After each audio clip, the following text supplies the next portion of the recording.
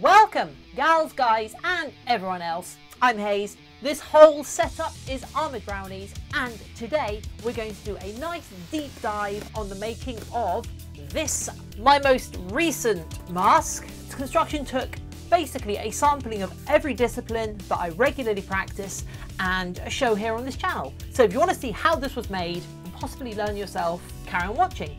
If you just want to pick one up for yourself, head over to my Etsy store. Someone's already done the work for you. Right, we start from very simple beginnings. We have a head form. Now this can easily be a cheap foam head like this. You'll get these things for like a fiver on eBay. You can sculpt on these, but you've got to be a little careful because they're a tiny bit smaller than a normal human head, but they're still a great place to start if you're learning. Or you can invest in something like this, which is a Monster Maker's Ed head. We also have the Alana head, so with two different types of head, although I will say this one runs a bit small for my liking, even for women. So perhaps keep that one for children. If you want to be super fancy, a plaster cast of someone's head. You can see this one has been through the wars. But how does he smell? Anyway, bad puns aside, what are we slapping on our head? I sculpt in clay. This stuff is called wed clay, W-E-D. This is a water-based clay. It's very soft, it's fantastic to use, and you can let it tactically dry out as you go. So, who wants to see how we turn this block of wet mud into something we want? Let's go! And as with all of the sculpts we have done recently, we start with massing out our area that we're sculpting in. This basically involves taking large handfuls of this nice soft clay and pressing it into the head in basically the overall shape and form of the final thing, defining the area in which we're going to sculpt. This part of the sculpt is nice and haphazard, and although it can take quite a while to get enough clay onto your sculpt, it is really important for the next stage where we start defining the anatomy.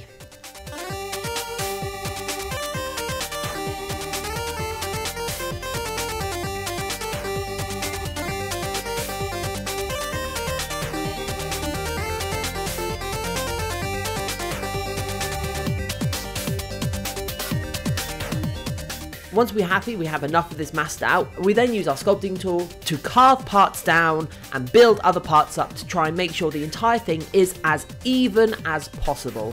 You can see when I get to this stage because I start smoothing the clay out so I have a much better idea of where the definition for the sculpt is. And another really important thing to be doing is to be looking at the sculpt from different angles, lay it down on its back, take photos of it from different sides so you can see where it is uneven because it's really it's actually really hard to judge symmetry just with your own eyes if you're doing something very mechanically accurate, taking photos of it and then putting it in Photoshop and drawing lines across it to make sure everything is as even as possible is a really good thing to do, especially if you have the time to work with. And if you're keeping this clay nice and wet with a spray gun and overnight covering it in a plastic bag or some cling film, then you will have enough time to work with it. Once we're happy with our overall anatomy and the basic shape and proportion of it, I then start to put the tongue in. The tongue actually caused a fair bit of problems because the tongue is very heavy, the lower chin is very heavy, and it's protruding off our sculpt quite some distance. So what I actually ended up doing was getting some aluminium armature wire and putting it through the jaw underneath the tongue to prop it up so it could hold its own weight. It was a bit of a haphazard process and if I were planning better, and hopefully you'll plan better now that you've seen me make this mistake, I would have known that I needed that ahead of time because this clay is quite heavy and not very structurally sound. If you're interested, my next sculpt is already on my table and it's Zenyatta. I've 3D printed some parts for them, but I don't know what I'm sculpting after that. So, please, please, please drop a comment below on what you would like to see the Armoured Brownies channel tackle next. Full head sculpt, half head mask, monster effects, let me know. Or if there's any aspect of this process you want me to do a much deeper dive in, I can also spend a bunch more time making a much more detailed video on any single part.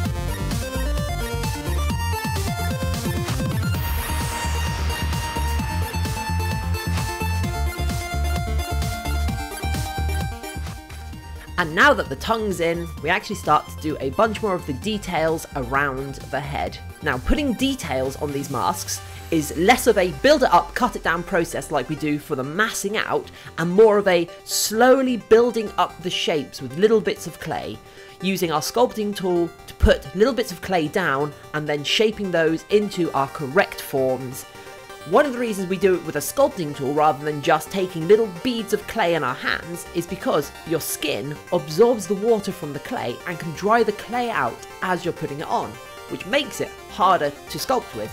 However, sometimes you want the clay to be a little bit more resistant because you might have put a little bit too much water in the bag full of water-based clay. So, as I said earlier, tactically dehydrating your clay can be a very useful skill but it's also something you kind of learn by doing. Don't fret if you don't get it right the first time, just spend a little extra time working with the clay that you have.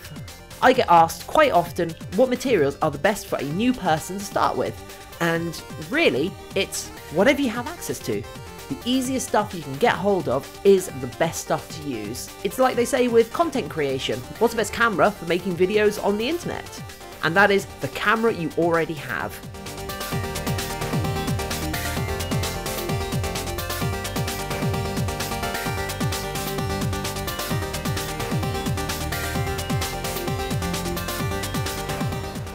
As we reach towards the end of this sculpt, we've left it a couple of days for the surface to dry out a little bit because we need to do that if we want to put any fine details in it. Because this clay is quite soft, it is hard to put very fine details in it because each mark moves a lot of clay. But if you let the surface dry and reach a condition that's known as being a bit leathery, you can then put some nice fine details and sharp edges for the brow crests, around the nose and the tongue, and also for the wood texture. Now, I love painting textures on masks, and one of the ways to give yourself plenty of opportunity to that is to sculpt as fine a texture, as much a texture as you can. Because one of the things you need to think about when you are sculpting things for a full-size human to wear is that most textures in computer games aren't rendered at photorealistic quality, and even those that are, still don't look as detailed as an object in real life would. You can look at it and you know it's made out of wood, but something actually made out of wood would have a lot more finer texture in it. You kind of have to assume from real world references some of the details that you're going to be sculpting into the mask. And here at the end, we actually use a mixture of stiff bristle brushes, sponges, and sculpting tools to sculpt in our wood grain effect. To get a really nice subtle effect, we end up going over it with one tool, smoothing it down ever so slightly, going over it with another tool and smoothing it down again. We keep on doing this because it gives us a very nuanced design with bigger creases within smaller creases within smaller creases and so on and so forth. And we do all this until we have a sculpt we are happy with. And this is the finished sculpt. I've sprayed it down with some primer which seals the surface and hopefully allows it to survive the mold making process a bit better but I hope you agree that this is a sculpt we can be happy with. So happy, we go on to make the molds. Now, don't worry about the fact that this mask has come off of its sculpt. It's because this clay has dried out because it's been a couple of weeks since I finished that sculpt and it sat on the head for a little while and as you can see, cracked all around it just from where the clay has contracted. But this is a big block of heavy clay even with all the water out of it. We don't need this now because I've already made the molds for this. Should we have a look at how the molds were made? We start making them by building up our mold walls. These are less for the overall shape of the mould, because we're not doing a matrix mould here, that's a whole other thing. This is more to stop all of the silicon escaping as the first couple of layers of silicon we want to put on want to be nice and liquid. So here you can see I'm using foam board. You can use a foam board, styrene, plasticard, cardboard, anything like that really. So long as you can make it watertight between all the joins. And here you can see I'm making it watertight by filling in the joins with clay, just to make sure there's no room for any of the silicon to escape and, well, for one, drain out of the mould, but two, get your entire studio covered in silicon. and once you have something that looks a little like this, you're ready to proceed.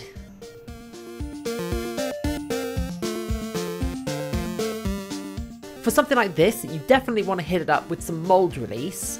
Although the silicone won't stick to the clay of the sculpt, it will, however, seep in a little bit to the surface of either the cardboard or the foam board and such. So hitting it with some mould release agent stops it from doing that and the silicone comes out cleaner at the end.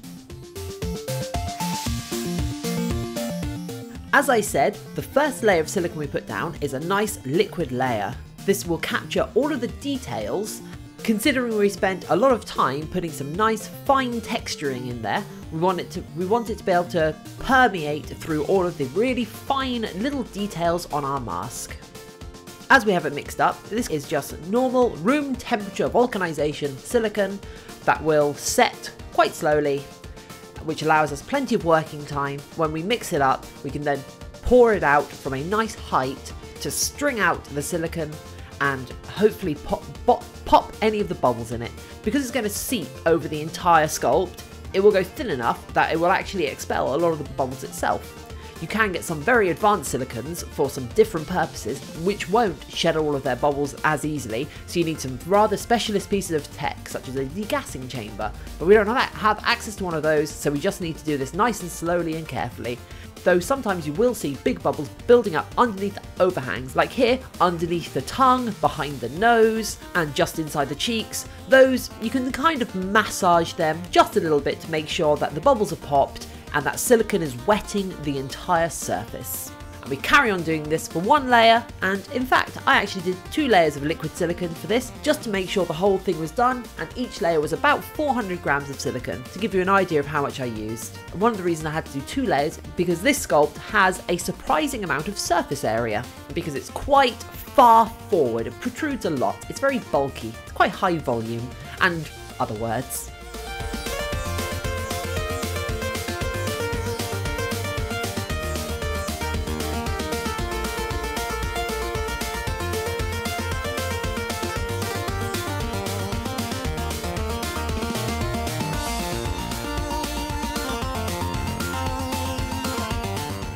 And once the first two layers that we've put on are nice and tacky, we don't want them to be perfectly set, but we also don't want them to be still liquid.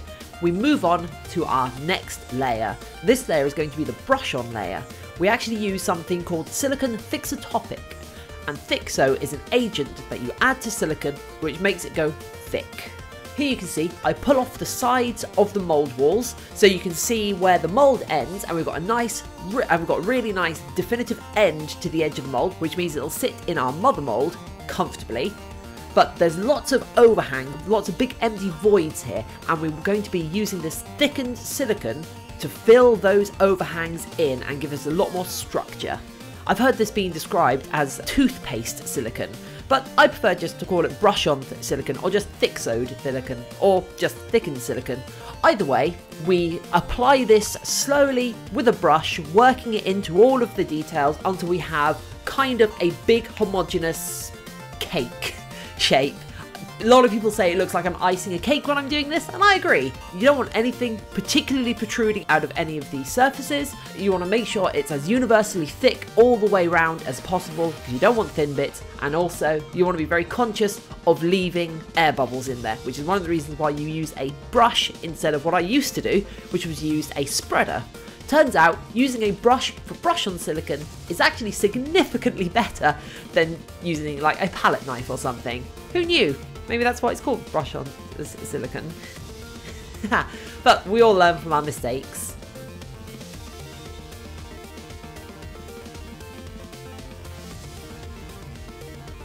And then we get to this point where we have a big pile of silicon ready for its mother moulds. So, a note on mother moulds. Silicon on its own is floppy and won't hold the shape of the rigid sculpt you just had. What we need to do now if I get this out, we need to take this, which is our mould of the sculpt we've just taken. It can't even hold its own weight up. We need to take this and give it a structural jacket. Now, unfortunately, I didn't record the making of the mother mould because I did it in fiberglass and therefore I did it in an environment better for using polyester resin, being the active resin in fiberglass, therefore I wasn't in a position to record it I'm afraid. But I would also not advise going straight for one of these, which is a two-part fiberglass jacket mould. That is, it's a little bit difficult, although here is a quick look at halfway through the mould making process. If you've ever wondered what the different layers of a mould are, here's a good place to show you. We have the mother mould, this is the outside bit. Here I'm doing it in two parts so it can come off in halves from the silicon mould, the actual mould proper that you sort of understand as being a mould. And then underneath this we have the original sculpt. So when both halves of this mother mould are on, otherwise, otherwise known as a jacket, we will bolt them together and then that will hold the silicon rigid and in the same shape as the original sculpt. Therefore, all of this floppy silicon doesn't just fall in on itself. What is an easier thing to go with, and what I've made a few of before getting to that point, it is a single piece jacket mould. It still has the same cut-ins. This is one of my first times doing it out of fiberglass. I've always said mould making is my weakest skill. This still has the jacket sits in there nicely, you have registration marks around the outside, and this roto casts fine with the surface around the side. However, there is a much easier option, though it comes with its drawbacks, which is this, using plaster bandages. We have our silicon. This is the exact same silicon as, as is in the other two molds, just the catalyst was a different color. It goes over it just as the fiberglass does, but these are literally plaster bandages.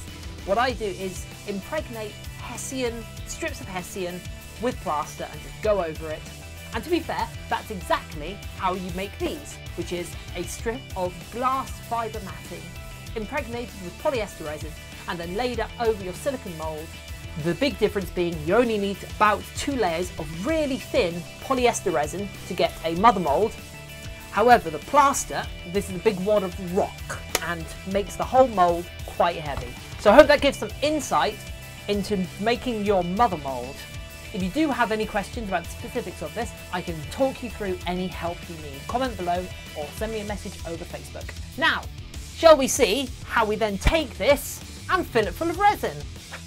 We are going to be making these masks out of rotocast resin. So this is equal parts A and B mixed up. You can see I'm doing it on a scales. The scales are covered in cling film by the way because I've ruined enough scales by spilling chemicals on them. We just mix it up and pour it into our mould. We have used some mould release agent on here that not only makes the resin come out easier, it prolongs the life of your mould. So once it's in there, we just carry on the mould moving the entire time. We've used 100 grams of resin for this, so 50 of part A, 50 of part B, because it's quite a large object and you kind of get a feel for how much resin you need to use after a while of doing this and you can see the colour of the resin slowly changing. And as it gets to basically white and stops moving you can then let it rest and let it cure. But we actually use three 100 gram layers for this mould because it's such a large piece. And once we've got all of those layers on, I've skipped two of the layers I'm afraid, we then take it out of our mother mould and slowly peel the silicon back off our resin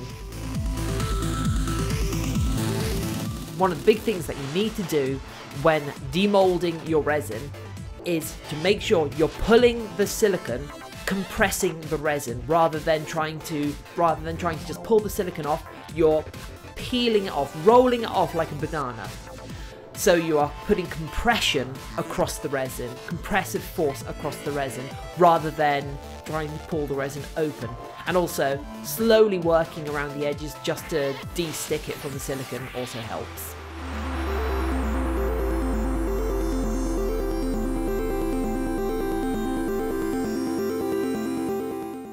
So now, as close as we are to having something like this, we still have a surprising amount of work to go because you'll see the product that comes out of that mold is covered in flash all the way around it. The eyes have holes in and there might be some artifacting on the inside where the rotocast resin has built up or dripped.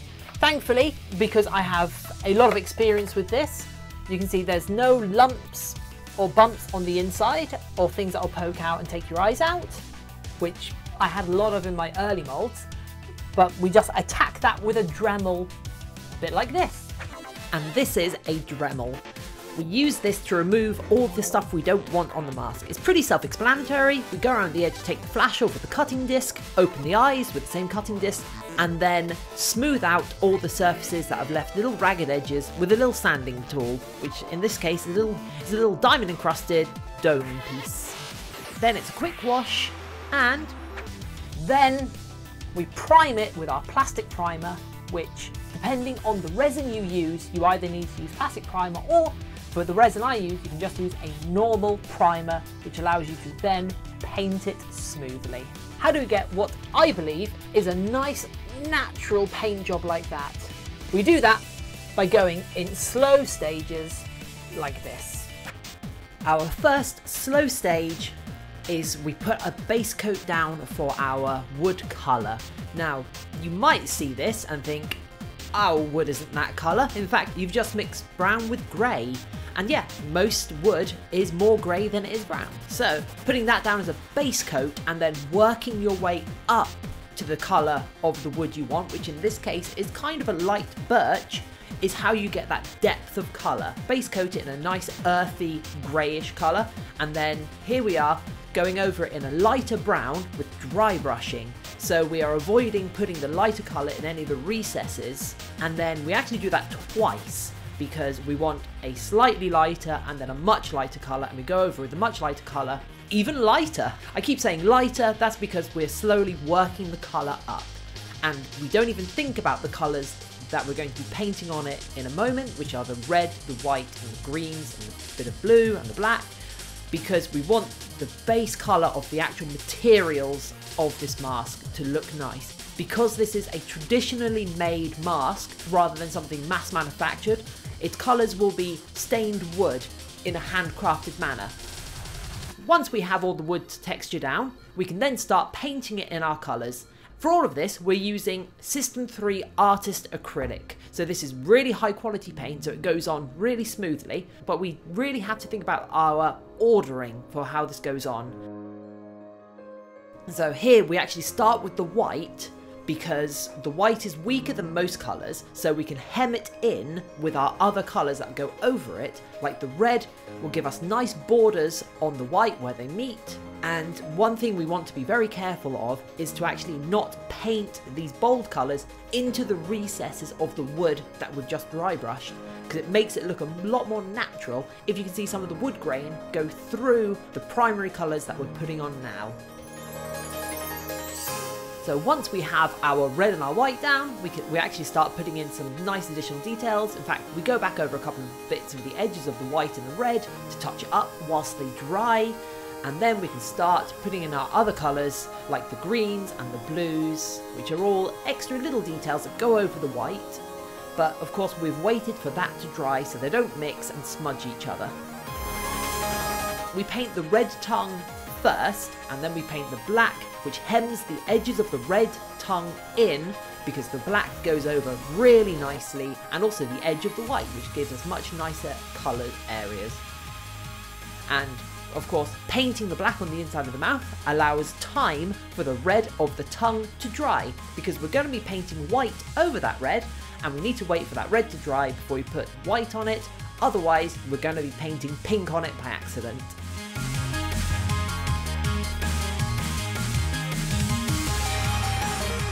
I hope that gives you a good primer into thinking about the ordering of which you use your paints, because that's genuinely important, and also how magical dry brushing can be, and how it really rewards you for putting that, that little extra time into sculpting.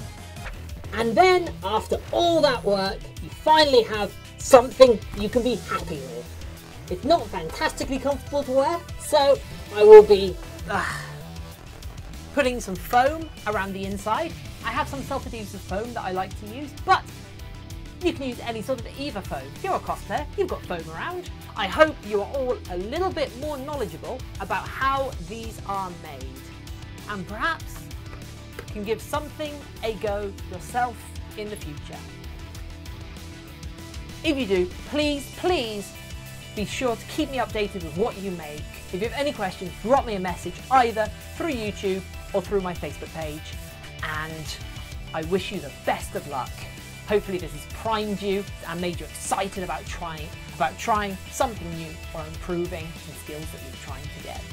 Anyway, I hope you stay around to the channel to see more work like these. Thank you for watching and goodbye.